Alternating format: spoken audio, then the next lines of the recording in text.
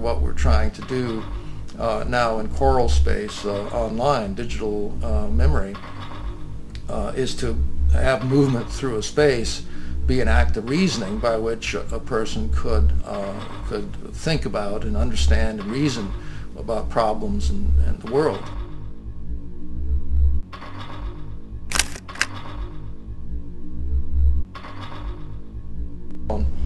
Uh, we took um, a situationist approach to this. The Situationists, um, Situation, Situationist International uh, was a movement, an avant-garde movement of, sort of anti-urbanism uh, in the 1950s and 60s, uh, very much uh, part of what led to the famous May 68 uh, rebellions in Europe and America too for that matter. Uh, but the Situationists applied poetry to life and they were um, had a, had a plan of moving through a city looking for its uh, situations, as they said, uh, or even to create situations. And their, their methodology is very important to the, the research ensemble's methodologies uh, because uh, they had this idea of, of, drifting, they called it the dérive, uh, which was uh, a kind of open passage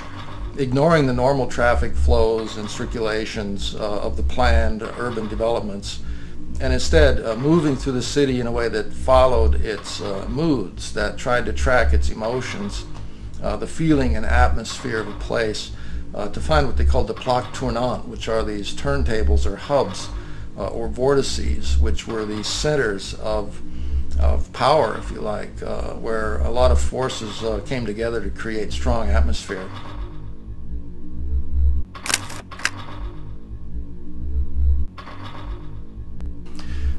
So, for example, when we're talking about moving through, um, drifting through the zone, uh, walking, uh, whether that's a drift or a situation uh, in a topological sense, uh, moving through a space, something like the Aboriginal Dreamtime is a very good model for what we're trying to do.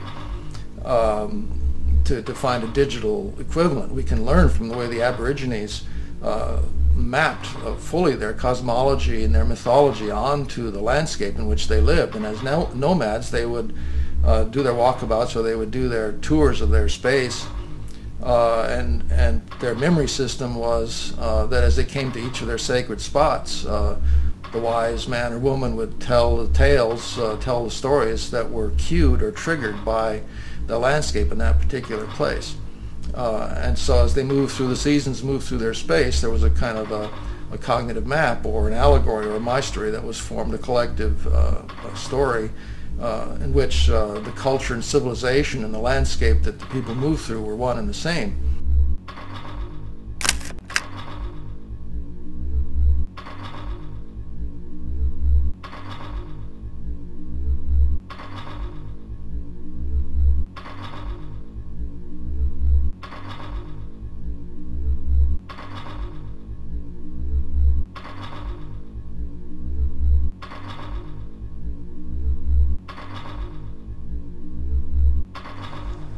Uh, the uh, what I'm I'm interested in figurative language, uh, especially metaphor, and just the translation of metaphor in Greek means to carry across. And if you translate metaphor into Latin, it translates as transfer, which literally means to carry across. The Latin for uh, carry or bear is fero ferre tuli latus. And actually, translation is the same as transfer, just uses a different principal part at the uh, tail end of the word. So uh, there is there are equations between the word metaphor, transfer, and translation. And they're all uh, connected in the sense of literally meaning to carry across.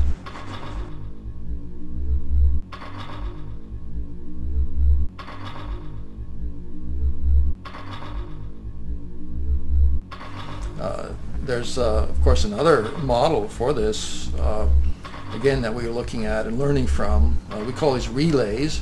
a relay is not exactly a model. A model is something that you take over whole whole cloth and, and just try to repeat it. But what a relay does is is it gives you an idea of a direction that you want to go in. You don't want to replicate uh, the thing completely, uh, but you want to learn from it and in order to do your own thing. Well, another relay for um, for the chora is mnemonic uh, memory systems, and especially medieval culture, manuscript culture, uh, from the Romans uh, through to the beginning of print. Uh, the way schooling worked uh, in in church schools and universities in Europe at that time was that students were trained in memory.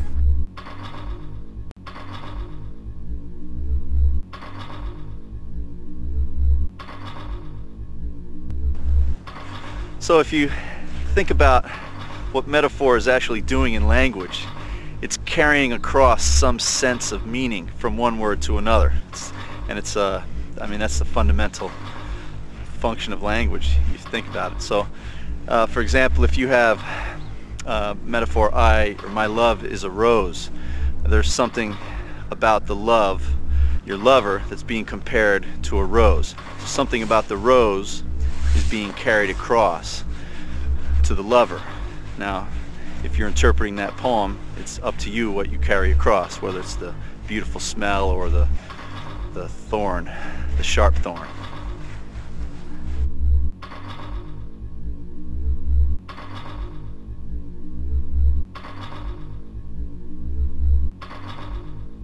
And you built a memory theater uh, in order to uh, be able to perform, uh, give speeches. Uh, that's the way. Uh, that's the way uh, performance was measured. That's the, that were the, the, practices of schooling and of learning in in a manuscript culture. Were not writing, but they were speaking. You had to be able to speak. You had to be able to argue, debate, um, persuade, and you had to hold forth without writing for hours at a time sometimes.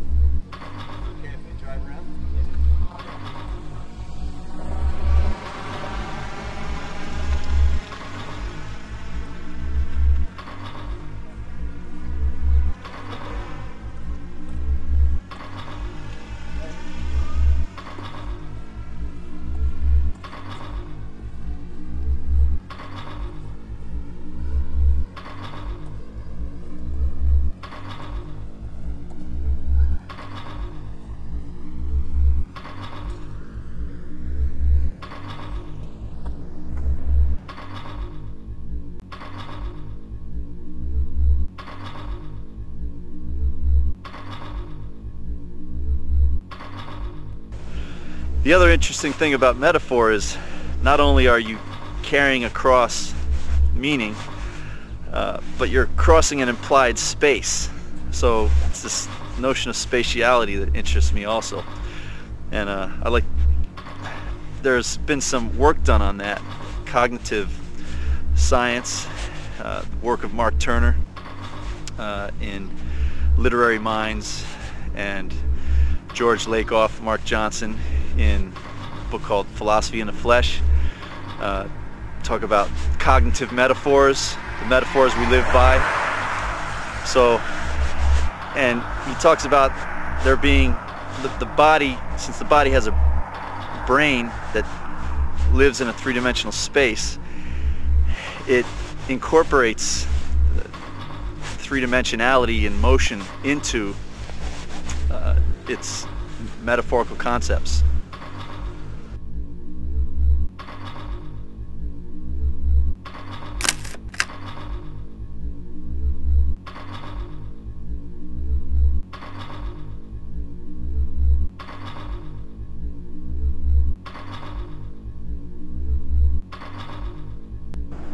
So for example, in the metaphorical concept of thinking as moving, the mind is a body and ideas are locations.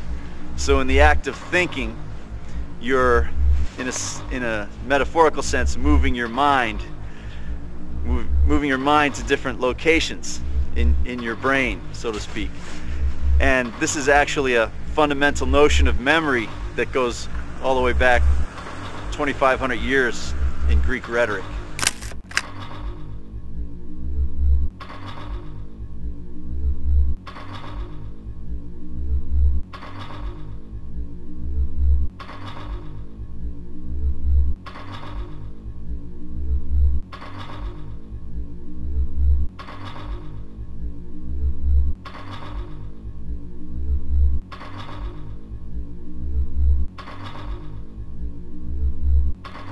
My twin four-year-olds attend a preschool just up the hill here.